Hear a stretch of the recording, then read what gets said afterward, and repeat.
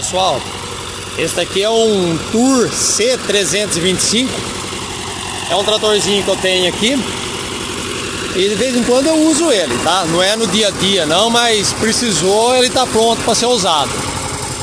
E hoje aqui, ó, eu tô passando essa gradinha para dar uma acertada nos lombos da terra.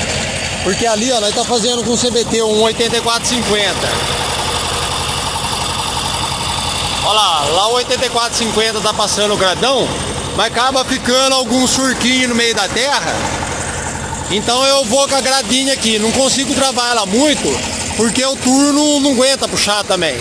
Mas mesmo assim você vê que ela vai com o disquinho entolado, ó. Vai no mancal, mas não consigo travar muito ela.